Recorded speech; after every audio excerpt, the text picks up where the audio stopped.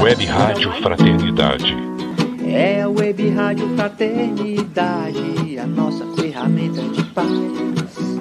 Invadindo ruas, campos e cidades, com amizade, amor, muito mais. É a Web Rádio Fraternidade, a nossa ferramenta de paz. Invadindo ruas, campos e cidades, com amizade, amor, muito mais. Esteja sempre em contato com o bem.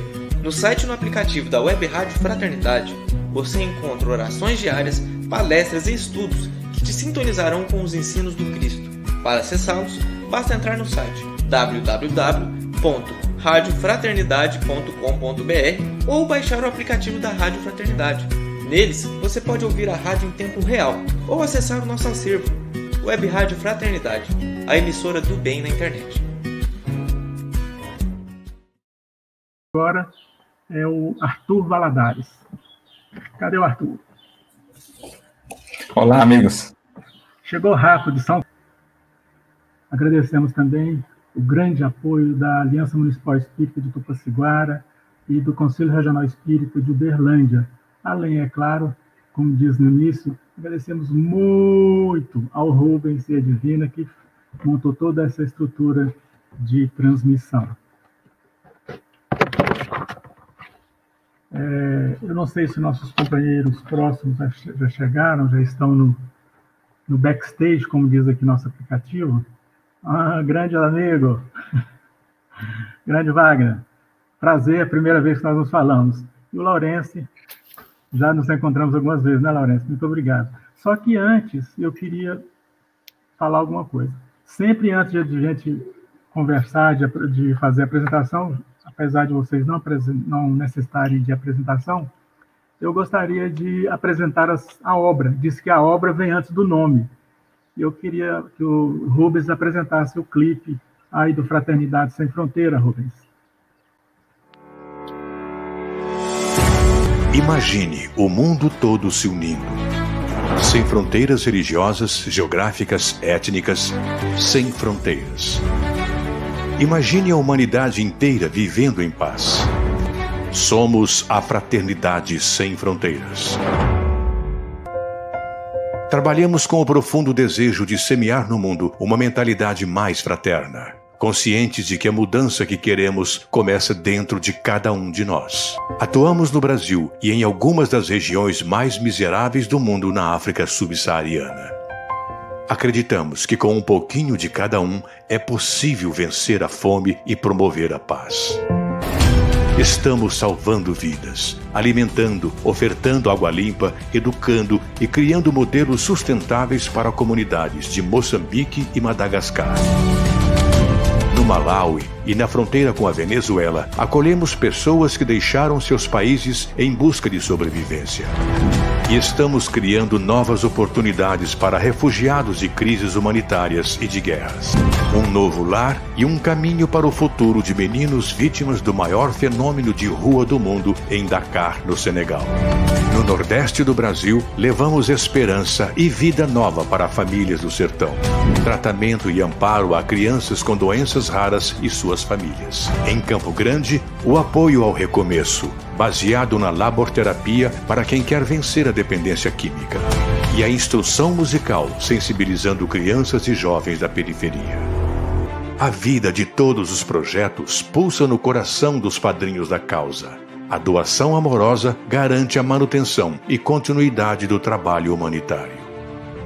O ideal de fraternidade ganha força com a união de voluntários no Brasil e no exterior. Entusiasmados pela alegria de servir, criam múltiplas iniciativas em prol da causa. Confeccionam vestidinhos, doam calçados e acolhem as crianças de amor. Criam capinhas delicadas para cadernos fraternos e escrevem páginas de afeto unem estudantes, envolvem a comunidade escolar e ajudam a construir uma educação sem fronteiras. Levam cursos, oficinas, capacitam jovens e incentivam a autoestima. Arrecadam remédios, equipamentos e despertam sorrisos. Em mobilizações emocionantes, viabilizam uma grande conquista levam água para a África. São quatro poços artesianos, senhoras e senhores! E a vida brota do solo, enriquecendo o campo, nutrindo o prato. Em um movimento de amor contagiante, padrinhos visitam voluntariamente os projetos e conhecem de perto o mundo novo que estão ajudando a construir. Médicos, dentistas, educadores, profissionais voluntários de diversas áreas doam conhecimento e amor. A Fraternidade Sem Fronteiras recebe reconhecimento pelas ações transformadoras. E a mensagem de fraternidade vai mais longe, divulgando a obra coletiva. Um só povo, um só coração, juntos no encontro Fraternidade Sem Fronteiras. Testemunhos, reflexões, a união de corações pelo fortalecimento da obra de amor. Um mais um, dia a dia, passo a passo, estamos formando uma grande corrente de fraternidade por um mundo melhor.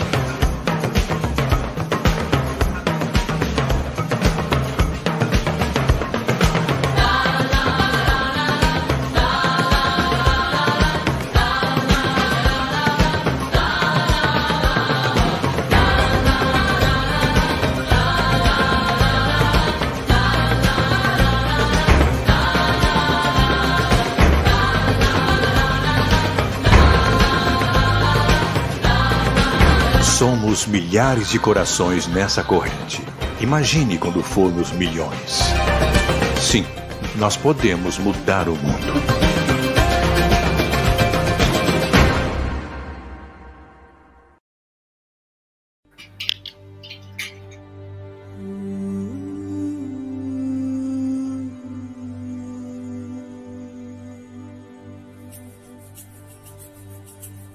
Fraternidade sem fronteiras. Um pensamento, um sentimento em ação. Somos a união de voluntários que desejam construir um mundo melhor, reconhecendo toda a humanidade como uma só família. Estamos na África, estamos no Brasil. E agora queremos levar a fraternidade mais longe. Vamos ampliar o projeto Fraternidade na Rua, em parceria com a Clínica da Alma um grande desafio social que pede a nossa união. Uberlândia e Rio de Janeiro já se preparam para receber o projeto. Veja como vai ser. Vamos implantar o centro de referência para pessoas em situação de rua. Neste lugar, vamos servir alimentação, proporcionar cuidados com a higiene, doar roupas e calçados, corte de cabelo, atendimento médico, odontológico e psicológico. Faremos também o cadastro da pessoa em situação de rua, o acolhimento fraterno e a triagem. A Fraternidade Sem Fronteiras mobilizará a rede de voluntários para encontrar o tutor fraterno que o apoiará com um novo lar, profissionalização, trabalho e vida digna. Se a pessoa for dependente química, será direcionada para tratamento. Vamos implantar nas cidades uma clínica da alma, a exemplo da que já existe em Campo Grande, no Mato Grosso do Sul. Do início ao fim do dia, todos têm ocupação. O trabalho é baseado na laborterapia aprendem um ofício e voltam a realizar tarefas simples. É uma reeducação de hábitos e responsabilidades em ambiente de convivência familiar. Todos recebem incentivo à vivência da espiritualidade. Fé e afeto transformam vidas. Acolher, transformar. A fraternidade chega às ruas do Rio de Janeiro e de Uberlândia com o sonho de expandir o acolhimento para mais cidades brasileiras. Fraternidade na Rua um projeto da organização humanitária Fraternidade Sem Fronteiras.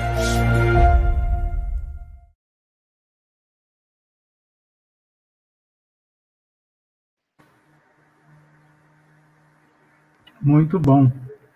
Nós estamos recebendo aqui dois trabalhadores do Fraternidade Sem Fronteiras e o Wagner é o fundador desse projeto. Nós convidamos aos companheiros que nos acompanham nos diversos canais que nos transmitem que acessem depois o site do fraternidadesemfronteira.org.br e vejam as diversas oportunidades que todos nós temos de ajudar este imenso trabalho. Sejam bem-vindos, Wagner, seja bem-vindo também, Laurence. Muito obrigado. Vocês me ouvem? Perfeito. Eu queria agradecer o convite da comissão organizadora do Festu, Wellington, Otávio, a você, Borginho, e todos os envolvidos nesse projeto maravilhoso que é o Festu, e esse ano está aqui, firme e forte, através dessas lindas palestras online. Meu agradecimento. Obrigado, Hernani, a todos do Festu pelo, pelo carinho, pela, pela oportunidade, né? Da gente poder estar aqui e principalmente assistir vocês, né? Eu estou assistindo algumas, algumas palestras, estou adorando. Ah, que bom, é. Aliás, você viu que o Lourenço me chamou de Borginho, você me chamou de Hernani. Eu atendo mais Borginho do que Hernani, viu? Ah, pronto para te falar a verdade, até mesmo meus pais me chamavam de apelido. Eu nunca vi uma coisa dessa. Mãe e pai chamar de apelido. Bom, hoje, o, agora, o tema de vocês será o simples elimina todas as fronteiras para o bem. E vocês terão até as 19 horas para ocupar e nos dar suas mensagens. Né? Então, até daqui a pouco. Utilizem como puder. Muito obrigado. Obrigado. Meu querido irmão, tudo bem? Excelente, meu amigo Laurence, uma honra poder falar com você. Você sabe que do, do carinho né, que a gente tem, eu acho que isso já é uma, é uma base, até porque a gente vai estar tá falando, eu acredito. Eu não, não sei, a gente não combinou nada, né, Laurence? Nada. Nada, é, nada absolutamente nada e, e talvez esteja justamente na, na autenticidade, é, esteja justamente na, na verdade do que é as coisas, é que é que a força, né, disso, né, que a gente vai estar falando sobre essa simplicidade e a simplicidade tem muito a ver, tem tudo a ver com a verdade, né? Bom, eu vou deixar você começar aí, Laurice. Tá bom. Eu fui marcado muito profundamente por uma situação, acho que eu já coloquei ela para algumas pessoas aqui no, no, na família e também entre os amigos. Comento muito disso e acho que já comentei também com você em algumas palestras desse momento que a gente passou numa caravana em que estávamos juntos. Era um mês frio de julho lá na, na região da província de Gaza, Moçambique, a, a, aquela parte que íamos ali para a região de Chicoalacoala. E como a gente faz em toda a caravana, depois dos trabalhos da caravana de saúde, de atendimento, da, de servir o almoço para as crianças da aldeia, estávamos naquela ocasião na aldeia de Bobobo, e à noite, já recolhidos na aldeia de Ding, onde era o nosso, o nosso, vamos dizer assim, o nosso QG, o quartel-general, de onde dali saímos todos os dias, nos reuníamos à noite num dos alojamentos para fazer uma revisão, para bater aquele papo gostoso, para cada um dar a sua opinião, expor as suas seus sentimentos, as suas ideias. E foi ali, numa daquelas reuniões, que eu presenciei, acho pela primeira vez e talvez única, eu não me lembro de outra ocasião, você emocionado ao narrar, descrever um fato daquele dia de trabalho. Acho que você não vai se, não sei se você se lembra disso. É, e você contou, Wagner, e, e, eu acho que isso tem muito a ver com, com essa simplicidade do bem. Você contou que ao longo do trabalho na aldeia de Bobobo, onde os médicos atendiam, os dentistas faziam o trabalho da higiene dental, e os responsáveis pela doação de roupas e calçados estavam ali trabalhando e doando, e você narrou um momento em que você observava uma mãe recebendo o sapato, o tênis que iria para o filho. E você descreveu de forma emocionada, chorando, a alegria que você percebeu na mãe. Algo que talvez para muitos de nós envolvidos em projetos de assistência, em movimentos de caridade, né? O Festu é um movimento espírita, o espiritismo ele tem como a sua base prática a caridade, mas nem sempre nós temos a maturidade para perceber coisas tão profundas que, por exemplo, ali foi você vendo a alegria genuína. A alegria de um coração materno que não recebia apenas um tênis, mas também a esperança. É, é, uma das coisas que a gente percebeu naquele momento que você falava emocionado foi que a ação da fraternidade sem fronteiras, que ali talvez durasse alguns dias e pudesse ser algo pequeno dentro de toda uma trajetória de vida daquelas pessoas, mas a gente percebeu que a alegria e a esperança ela é carreada pelo bem. Então, eu queria que você falasse para a gente de como você vê esse lado mais simples do bem. Esse lado, o que, que representa essas ações na transformação daquele coração que muitas vezes está desesperançoso, angustiado, amargurado pela escassez, pela dor, pelo sofrimento, e de repente há um a um movimento. Né? Fala um pouco sobre isso para a gente. Ai, Laura, você está muito profundo, Laura. É... Então, Laura, é... eu acho que o, o, movimento, a gente, a gente vem aprendendo, eu acredito, sabe? É um aprendizado é... a cada instante pode ser um aprendizado, pode ser um aprendizado né? Se a gente estiver aberto a ele, se a gente tiver olhos de ver e ouvidos de ouvir.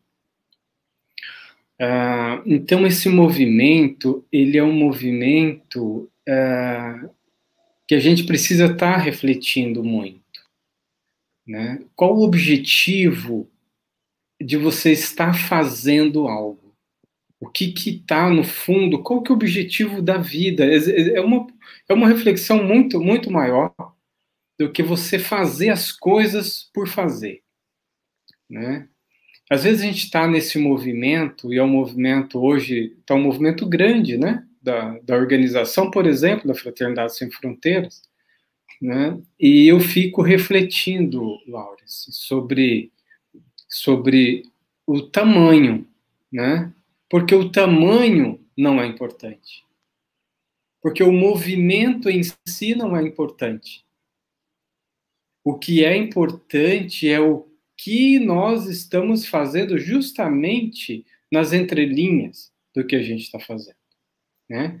Primeiro, qual é o, o, o sentimento que te move de estar nessa aldeia? Por exemplo, que você está na aldeia de Bobobo, fazendo um trabalho social, um trabalho o que te o que te move, o que te moveu, o que, que movia o que, que move aqueles, esses 500 caravaneiros que vão por ano? Cada um tem um motivo, né? E conforme a tua maturidade também, maturidade é, na vida, né? Espiritual, intelectual, moral, para você poder é, perceber. Senão você acaba passando. Então, o objetivo nosso ainda não é levar coisas. Não é. O objetivo principal de toda essa vivência é a construção dessa espiritualidade. É a vivência dessa fraternidade legítima, simples. E o que é essa fraternidade legítima? Se não a gente começar a enxergar uns aos outros como irmãos, como família. Se o teu irmão, se a tua mãe, se o teu avô, tua avó, teu filho ficou feliz por algo, você não vai sentir a felicidade junto com ele? Não é assim? Não é simples assim?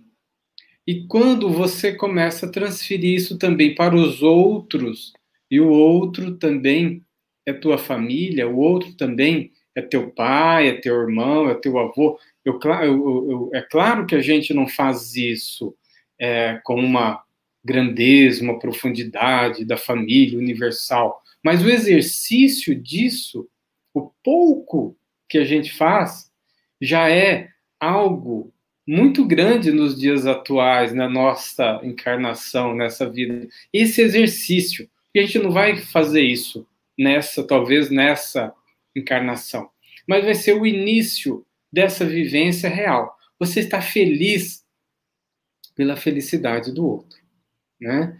Você ter esse olhar, né? Por que, que ela ficou tão feliz, né?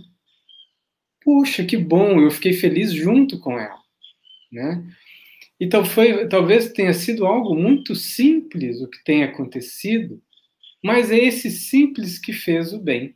Esse, esse que fez bem a ela, fez bem para mim e fez bem para todo mundo, olha só. Uma alegria verdadeira, uma alegria genuína. É, então a, a, a, Madre Teresa fala sobre isso, né? Não importa o tanto que você faz, mas o tanto de amor que você coloca naquilo que você faz. Acho que isso é algo que, no, que nos chama atenção e é o que eu acredito que é o que espera o Cristo, né? O Jesus espera que nós sejamos amorosos. É, é isso que se espera, não que se faça grandes obras a obra em si é uma ferramenta.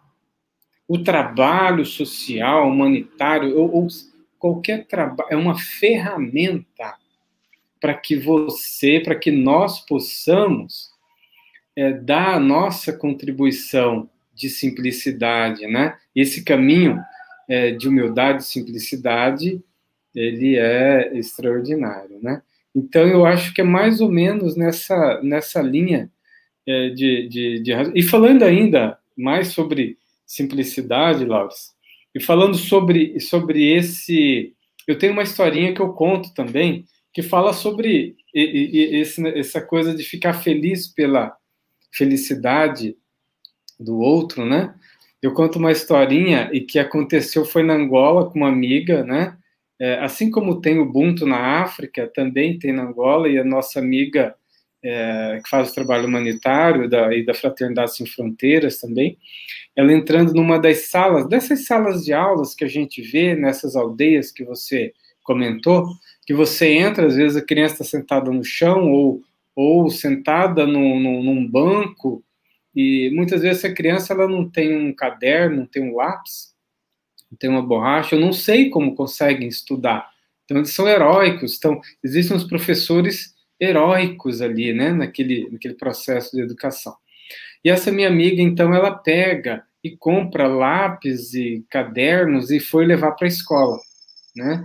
Quando chegou na escola, começou a distribuir nas várias salas. E quando chegou na última, e assim, o, o que acontece nessas escolas é o seguinte: quando você tem um lápis como esse aqui, ó, ele pega esse lápis e corta em três pedacinhos. É assim que eles fazem. Porque não tem. Eles utilizam o máximo possível aquele lápis. E, e ela, comovida com aquilo, levou então muitos lápis, né? Só que chegou na última sala, faltou lápis de novo. Né? E ela ficou com o coração apertado, falou: e agora? O que, que eu faço? Né? Vou ter que cortar o lápis. Pegou novamente, pegou o lápis, partiu em três e foi distribuindo para as crianças da última sala.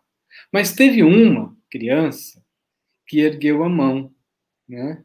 Ela ergueu a mão e pediu: Senhora, posso eu ter um lápis inteiro?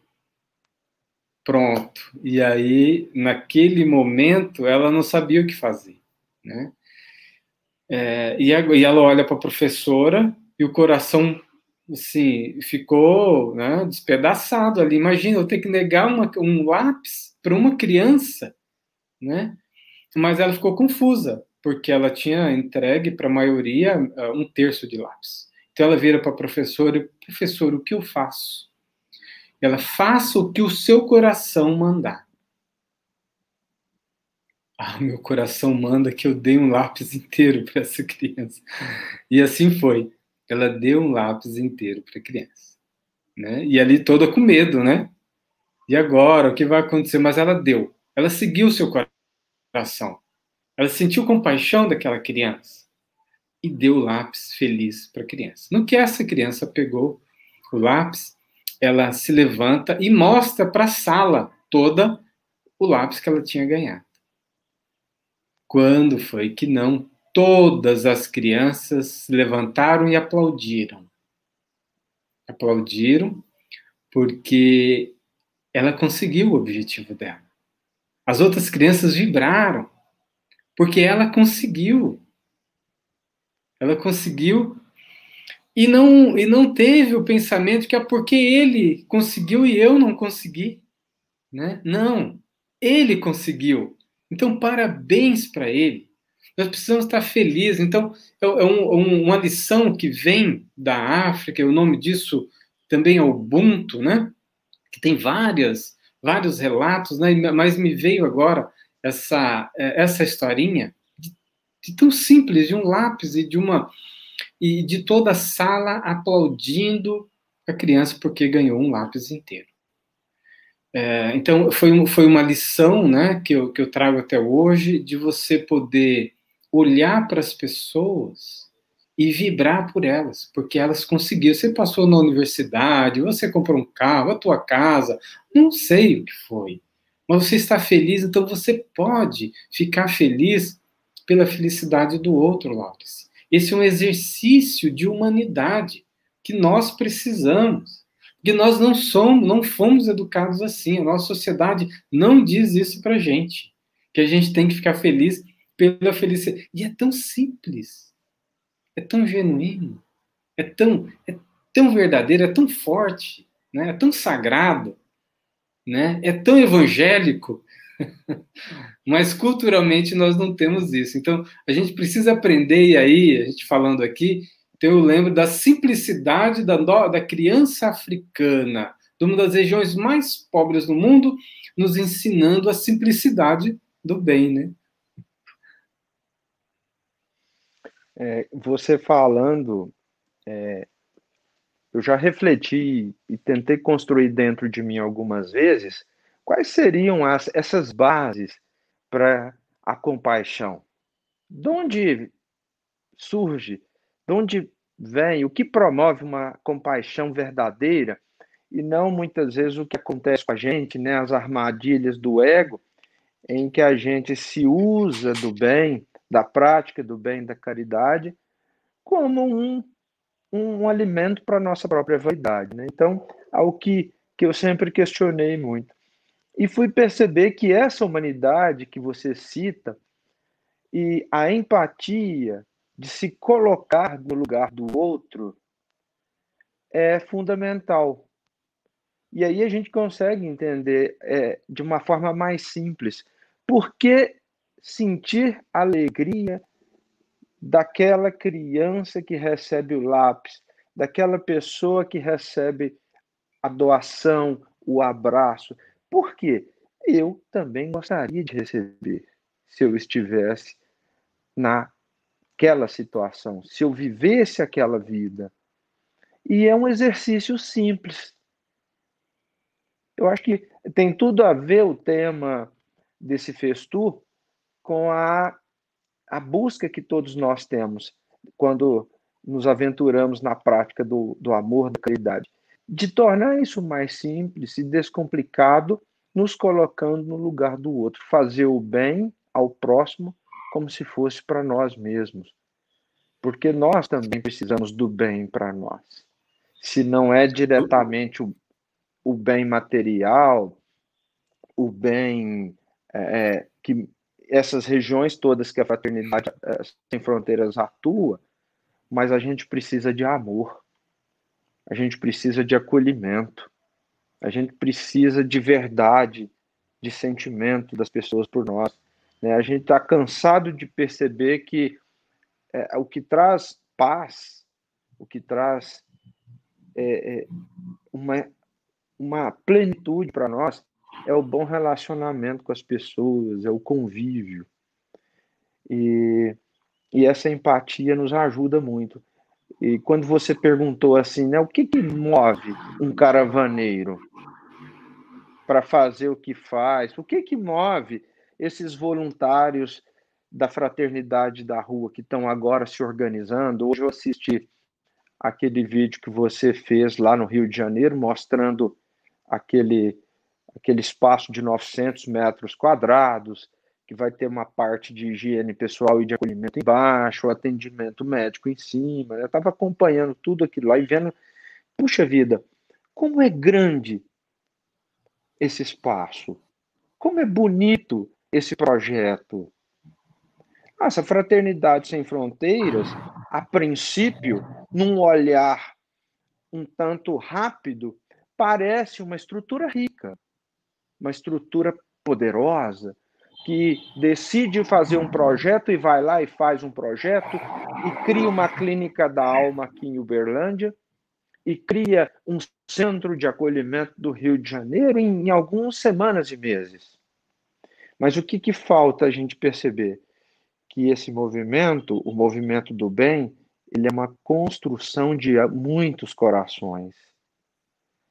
E você foi colocando no vídeo, né, que cada pedaço é, é que foi possível, né, a, a, o tanto de voluntários que se juntaram, cada um doando um pouco, 50 reais, e e conseguimos aquele projeto, iniciar aquele projeto. A mesma coisa aqui em Uberlândia, Fraternidade da Rua, que vai para a rua, que montaram com muitas mãos um carrinho com um banheiro móvel que vai à rua e a pessoa, o irmão em situação de rua, tem a oportunidade de, depois de tantos dias na rua, de tomar um banho. E aí, às vezes, a gente se questiona: ah, o que representa isso para aquela pessoa? O que representa aquele tênis para aquela mãe? É? E o Fernando aqui colocando para a gente: olha, uma pessoa tem uma noite de sono após um banho, após dias na sujeira, revirando lixo, consumindo álcool, ter oportunidade de ser acolhida numa clínica da alma, de encontrar um trabalho, de poder estudar. Qual o valor disso? E, isso se obtém como? Da simples doação de cada um, da simples entrega de cada um que vai doar algumas horas de sua semana algum período da sua vida. Então, tem tudo a ver com o que hoje a Fraternidade Sem Fronteiras é, esse movimento do voluntário, do simples, do cada um dá um pouquinho. E aí a gente vê um projeto tão grande, tão transformador, e que é, é, não precisava nem comentar isso, quem está envolvido no projeto e quem está envolvido em qualquer projeto de benevolência, o quão recebemos em troca. É, fala para a gente, Wagner, o que, que te tocou quando você decidiu trazer a fraternidade para essa nova realidade que já estava apoiando a clínica da alma do pastor Milton, mas agora estamos aqui em Uberlândia começando um projeto tão lindo da fraternidade da rua e da clínica da alma e lá no Rio de Janeiro. Como que, que é isso tudo? Laurice, eu também fico refletindo também. Uh, como que começa uh, esses projetos, né? Talvez alguém que esteja nos assistindo possa, principalmente quem trabalha com planejamento, sabe? O, o quem, fa, quem trabalha com planejamento fica maluco quando começa a conversar com a gente, né? É, não é que a gente não tem um planejamento, planejamento existe. Só que esse planejamento é um planejamento espiritual, né? Isso a gente vem aprendendo, claro, né, ao longo do tempo. E aí eu vou dizendo para quando a gente está tá com um grupo que a nossa maior tarefa, Laurence, todos nós, seja de qualquer movimento humanitário, social, espiritual, o nosso maior compromisso é estar conectado, nossa maior missão é conectado com Deus. É o exercício honesto, sincero, de estar conectado com essa força maior espiritual que nos rege. Né? Porque quando é da nossa mente, quando é do nosso apenas do, do, do da, da, nossa talvez vaidade, né? não prospera, né? Com, com, com tanta força. Então, a gente precisa estar, eu acredito, conectado, tentar o exercício, e é muito difícil isso, porque você fica. Interessante, a gente fica muito tempo. Né? Eu estava angustiado, né? eu vou contar isso para você, já que você perguntou. Eu estava no Rio de Janeiro, é, e aí eu fazia umas caminhadas pela, pela manhã, porque tem uma, uma, né, uma orla linda, Copacabana, e eu ia bem cedo, né? É, eu com, com os probleminha de gordura no fígado, colesterol, essas coisas, né, Lopes? E aí eu cedo caminhando naquele lugar lindo e de repente eu olho, vou olhando para os lados e começo a ficar triste. Porque era uma imensidão de pessoas morando em situação de rua que ia me angustiando, sabe? ia me angustiando. Eu disse, mas gente, mas isso não pode.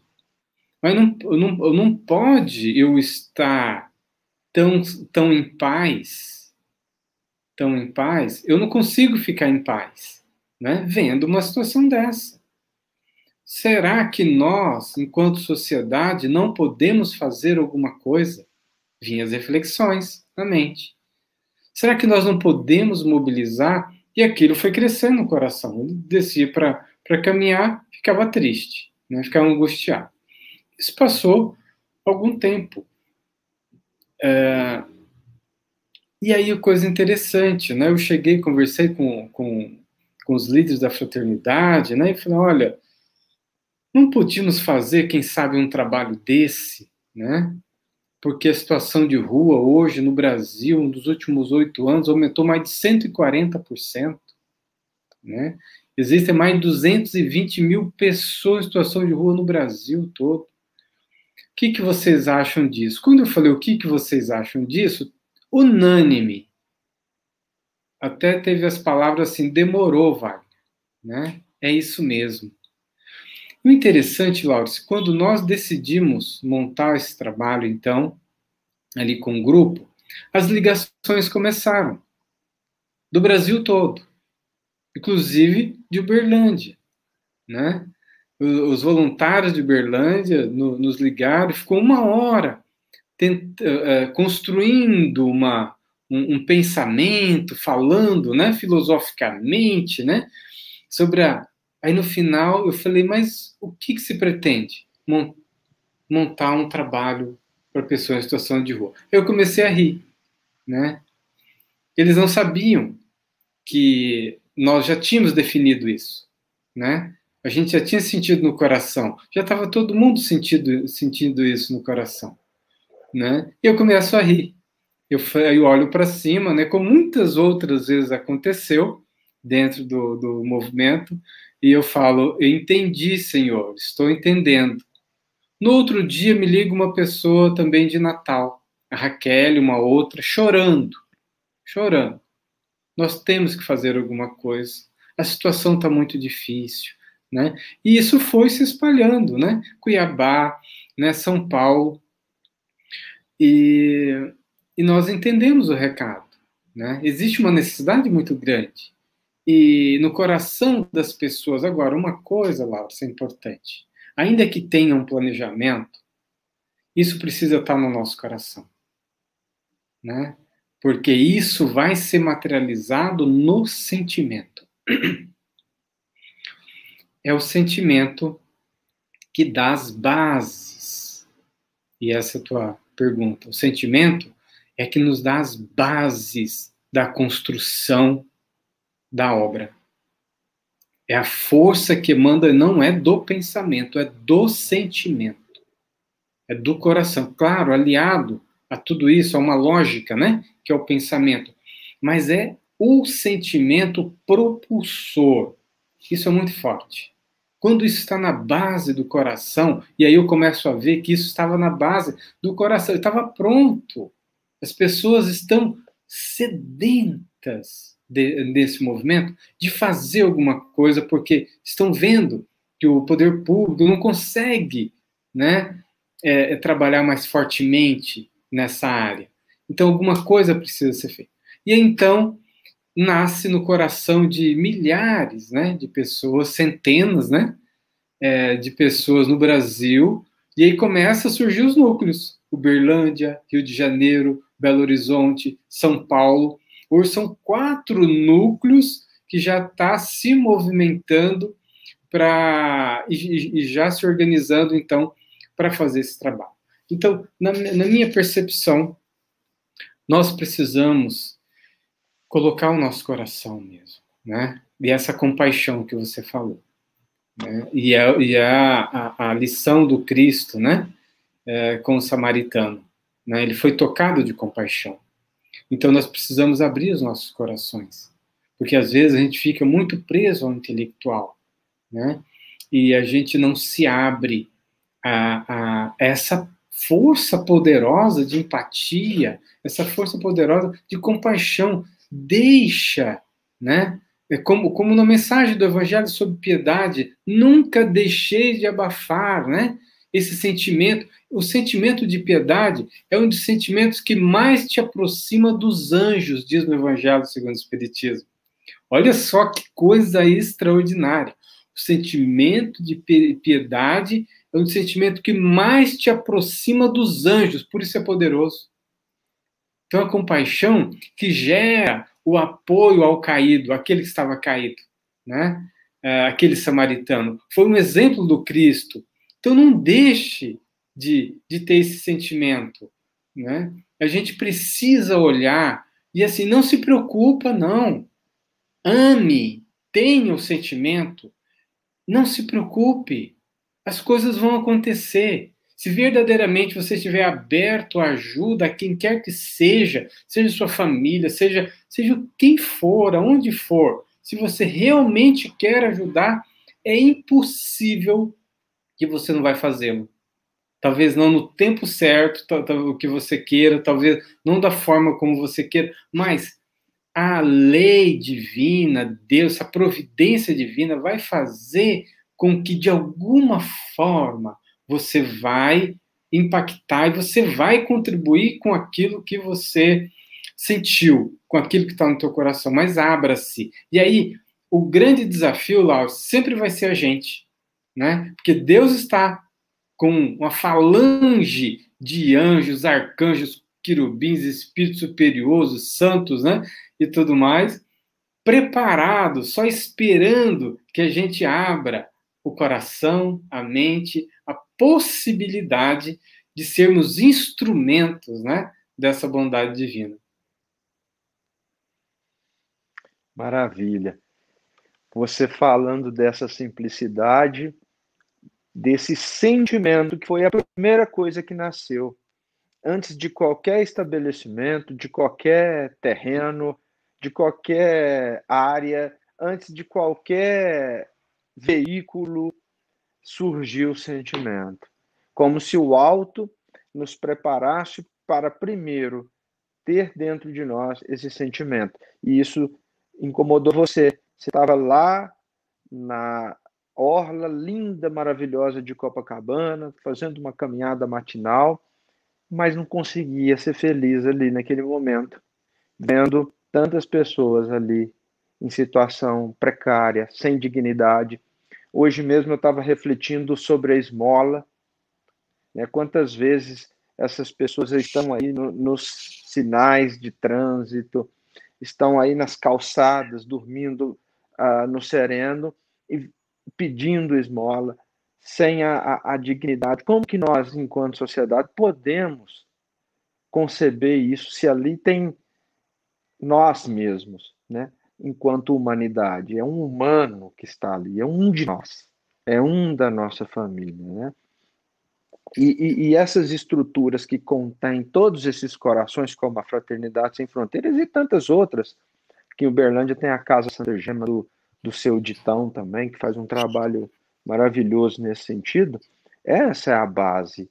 Eu via hoje o vídeo institucional, o acolhimento.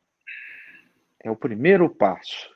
No bem, na caridade, o acolhimento é o primeiro passo. Receber aquele humano na condição de teu irmão. Ele é você, mas do outro lado. É você que está recebendo você, um humano, um filho de Deus como você é. E, e eu achei interessante é, você falou mais cedo aqui na nossa conversa da, da Madre Teresa. E eu tenho um livro dela aqui numa parte que ela vai tocar nesse aspecto da simplicidade. Olha a frase de Madre Teresa, está no capítulo 12, o livro chama-se Santa Teresa de Calcutá, venha, seja minha luz. Ela diz o seguinte: Deus usa o que é nada para mostrar sua grandeza. Eu me maravilho com a sua imensa humildade e a minha pequenez, o meu nada. Acredito que é aqui que Jesus e eu nos encontramos. Ele é tudo para mim e eu, a sua pequenina. Tão incapaz tão vazia, tão pequena. Nessa altura, Madre Teresa já tinha sua congregação, já tinha os seus desafios e os seus projetos, mas ela vai avançando na direção do simples. À medida que o coração dela se aproxima de Deus, na medida que os laços que a une com Jesus vão se estreitando, ela vai se vendo cada vez menor. Cada vez mais, como ela mesma disse, mais nada. E, e ela faz, escreve uma carta para o padre Michael, que é um padre que ela. Tinha vários padres que ela escrevia carta, e ela coloca assim: Meu amor por Jesus continua crescendo de forma mais simples e mais, creio eu, pessoal. Como nossos pobres, tento aceitar minha pobreza de ser pequena, indefesa, incapaz de um grande amor.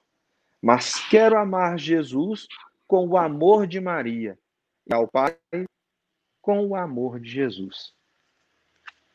Olha a Madre Teresa, que é um, um dos ícones morais que norteiam o trabalho da Fraternidade Sem Fronteiras, especialmente esse trabalho, a gente sabe disso.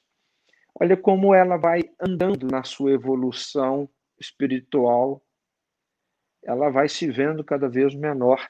e vai tornando cada vez mais simples o amor dela por, Jesus. E a gente sente isso na, nesses movimentos todos que a gente encontra. Cada vez mais a gente se vê menor, porém mais ligado a Deus. Que para muitos isso pode parecer um paradoxo. Poxa, mas eu estou me ligando a uma estrutura tão grande, o Criador do universo, que é Deus, mas eu estou me sentindo menor, pequeno. Na verdade, eu acho que a gente vai se sentindo, e eu estou longe disso, de chegar a essa, essa, essa percepção de si mesmo, mas a gente vai se sentindo mais parte, mais pertencente a um movimento, né? esse movimento do bem. É, eu acho que eu vou encerrar minha fala por aqui. Nós temos sete minutos e gostaria que você encaminhasse suas palavras finais nesse nosso tema, a, a simplicidade do bem e essa e o movimento sem fronteiras. Olá, Laurice, é muito lindo, né? A gente conversar é muito gostoso, né, Lázaro? Eu gosto muito de conversar com você. Ah. É, e o, eu tô, eu tô lembrando aqui de várias, de, de, de, de várias situações, de várias histórias. Você citou Madre, Madre Teresa e, e, e, já me veio em mente uma, uma história que eu estava lá na, na Addis Abeba, né, na, na, na Etiópia, e alguém me falou, eu estava visitando uma, umas regiões, e alguém me falou que existia um trabalho cuja fundadora tinha sido Madre Teresa de Calcutá, né, em Addis Abeba na Etiópia. Eu falei, o quê? Ah, não, eu tenho que conhecer, né? Tenho que conhecer e fui, entrei, né? Cheguei lá, abrir uma, uma oportunidade, eu fui visitar e quando fui entrando, eu fui vendo um local lindo, muito simples. Mas você não via uma sujeira no chão. Aqueles que estavam em situação um pouco melhor e ajudando aqueles que estavam sendo recebidos em situação mais difícil, ajudando os enfermeiros, né? E era uma harmonia, era uma paz, tinha umas 400 pessoas em vários blocos. Eu fiquei entusiasmado com aquilo. Falei, como que pode, né, ter uma harmonia assim? Eu falo, não tem aqui uma, uma madre superior, alguém que eu possa conversar. Eu queria conversar com um coordenador desse projeto e me levaram até essa pessoa. E a primeira coisa que eu cheguei, falei assim, olha, que foi fundado pela Madre Teresa, né? Foi. Eu perguntei para ela tem alguma orientação de Madre Teresa de Calcutá direta para poder ter tanta harmonia aqui, né? E ela falou: tem, eu, uau, né? Vai ter uma orientação de Madre Teresa. E fiquei todo, né? Todo cheio ali, porque ia ter uma orientação direta de Madre Teresa. Ah, sim, tem sim, meu filho. Para que tudo isso esteja como está, existe uma orientação, sim. É, a primeira, eu falei, qual? Ah, meu filho, que todos os dias, quando você acordar, primeira coisa, vem e ore para Deus. Converse com Deus. Eu, ah, que legal, né? Orar para Deus. Essa é a orientação da madre. Sim, meu filho. É, e a segunda? Ah, sim. A segunda, meu filho, é você. Sabe, todas essas pessoas que estão aqui, então existem muitas irmãs trabalhando aqui voluntariamente, né? Então, a segunda orientação da Madre Teresa de Calcutá é que a gente tenha que amar e cuidar dos trabalhadores imediatos que estão contigo. Uau! Mas amar a Deus sobre todas as coisas e o próximo como a ti mesmo, né? Essa é a orientação de Madre Teresa, né? E eu querendo uma orientação é, talvez diferenciada, né? É a maior orientação que nós temos no Evangelho. É simples assim. Quando a gente, Laurice, consegue acordar num dia simples assim, acordar num dia, fazer tua oração, se conectar a Deus, à espiritualidade. se o nosso dia vai ser bom. Vai ser bom. Né? E se você tem, e se você está trabalhando em grupo, se você tem um grupo e você participa, seja onde for, você está trabalhando em grupo, tente cuidar deles, dessas pessoas. Tenta ser amoroso, né? Tenta, faça isso com o grupo e você vai ver como vai ser. Se todos não estarão do seu lado, se todos não estão colaborando com você em todo esse trabalho. Então, são são orientações simples que dá para você implementar dentro da sua casa, no teu trabalho, na obra social, uh, no trabalho no centro espírita, na igreja católica, no, no Fraternidade Sem Fronteiras, porque é, um, é uma orientação universal, é simples e é profunda. Né? E a gente continua, Laurice, tentando buscar coisas lá fora, e não está lá fora já existe. O conhecimento básico já foi deixado para nós.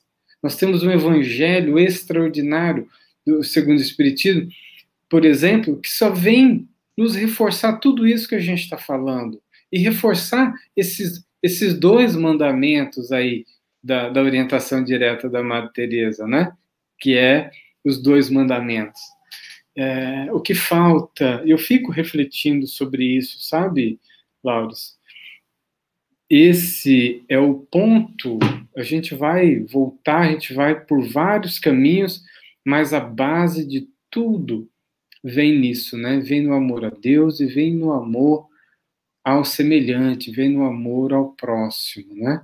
Esse foi, aliás, foi o primeiro sonho que eu tive no, no, no quando eu estava fundando um trabalho social em Campo Grande, que era o posto de assistência espírita amizade, que quando eu vi que estava crescendo o trabalho, o trabalho estava ficando muito desafiador, muitas demandas, muitos pedidos, e, eu, e, e, as pessoas vindo até mim me perguntando: não, mas eu não quero coordenar nada, só quero distribuir sopa debaixo dessas duas árvores, né?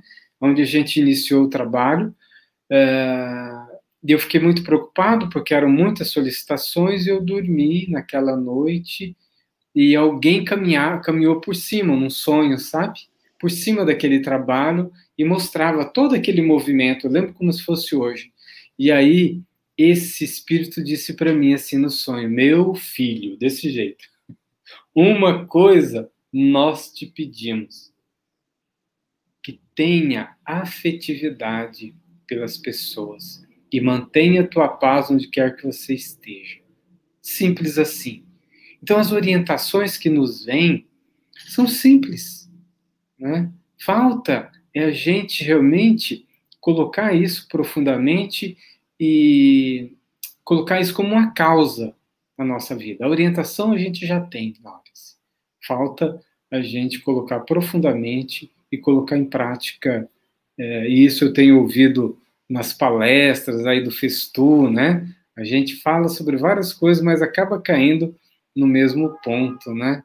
E, mas que bom que a gente vai fortalecendo esse ideal de amor e de serviço ao próximo e de simplicidade. Uma honra ter falado contigo, uma alegria, tá? Porque você é meu irmão querido. Meu irmão, digo mesmo, para mim foi um presente de Deus essa oportunidade de estar junto com você aqui. E vamos continuar junto para muita coisa, Deus quiser. Nós que agradecemos vocês. Obrigado, Wagner. Obrigado, Laurence. Muito obrigado.